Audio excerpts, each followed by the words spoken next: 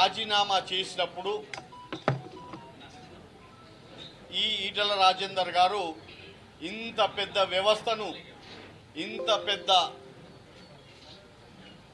వ్యవస్థ ఏదైతే ఉన్నదో కేసీఆర్ గారి వ్యవస్థ కుట్రపూర్వకమైన వ్యవస్థ అందరినీ చిన్న చూపు చూసే వ్యవస్థ అన్ని రకాలుగా హంగులు అంటే దుర్మార్గపు హంగులు ఉన్న కేసీఆర్ గారిని ఎదుర్కోగలడా అని చెప్పి మా అందరికీ కొంత డౌట్ ఉండేది. కానీ ఇక్కడికి వచ్చిన తర్వాత ఇది ఈటల రాజేందర్ గారి ఆత్మగౌరవ పోరాటం కాదు హుజూరాబాద్ ప్రజల ఆత్మగౌరవ పోరాటం అని చెప్పి కూడా మాకు తెలి- తెలిసింది. చాలా నమ్మకము చాలా విశ్వాసం ఈటల రాజేందర్ గారికి వారి హుజూరాబాద్ ప్రజల మీద ఉండే.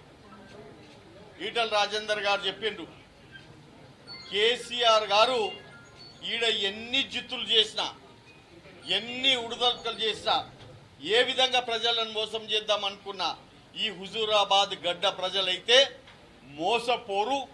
నేను వారి బిడ్డను నేను వారి మధ్యలో పెరిగిన వాడిని కడప కడపకు పోయిన వాడిని వాళ్ళందరూ కూడా తప్పక నాకు జరిగిన అన్యాయానికి వాళ్ళందరూ కూడా నిలబడి ఈ కేసీఆర్ అనేటోని ఓడిస్తారు అని చెప్పి చాలా ధైర్యంగా వాళ్ళు చెప్పడం నిజంగా కూడా మాకు కొన్ని కొన్ని సమయంలో మాకు విశ్వాసం కలగలేదు కానీ ఒక మనిషి ఇంత దృఢంగా నిలబడి ఒక వ్యవస్థను ఎదుర్కొన్నాడంటే అతనికి ఎన్ని గుండెలు ఉన్నాయో ఇవాళ మనకు తెలిసిందని చెప్పి కూడా మనకు తెలు ఇవాళ నేను తెలియజేస్తున్నాను ఇవాళ ఏ ఏ రిజల్ట్ చూసినా ఎక్కడ చూసినా ఏ సర్వే చూసినా ఏ ఎగ్జిట్ పోల్ చూసినా ఎవరిని అడిగినా తెలంగాణ రాష్ట్రములే కాదు దేశ విదేశాల నుంచి ఫోన్లు వస్తున్నా అందరు కూడా ఏమంటున్నారంటే ఈటల రాజేందర్ గారు రెండో తారీఖు నాడు గెలుస్తున్నారు.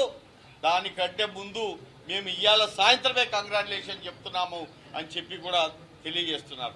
అంటే ప్రజలకు అందరికీ కూడా కేసీఆర్ గారి పాలన మీద ఎంత విరక్తి చెందిందో మనకు దీని ద్వారా అర్థమవుతున్న సంగతి మీ అందరికీ తెలుసు.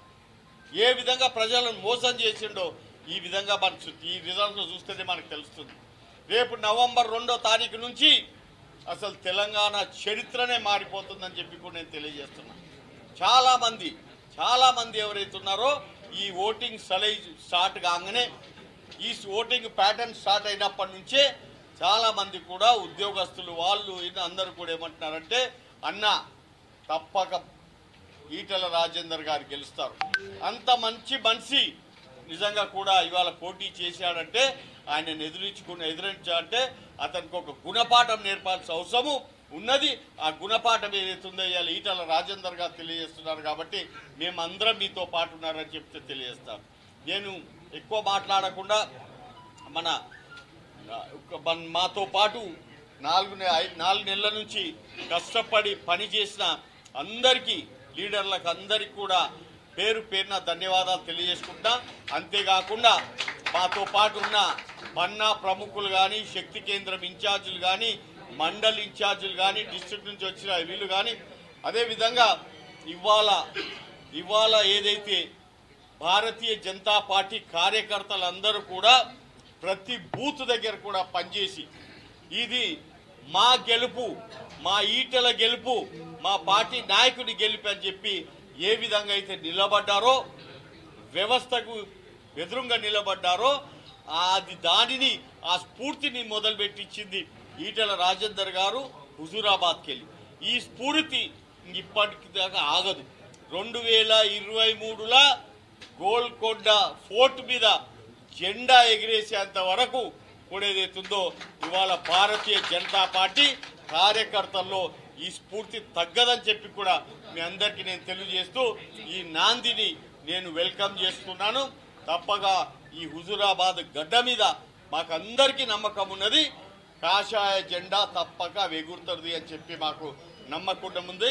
ఎందుకంటే ఇక్కడి ప్రజలు మమ్మల్ని ఆశీర్వదించారు. ధన్యవాదాలు. ఇప్పుడు పెద్దలు ఈటల రాజేందర్ గారు మాట్లాడాలని చెప్పి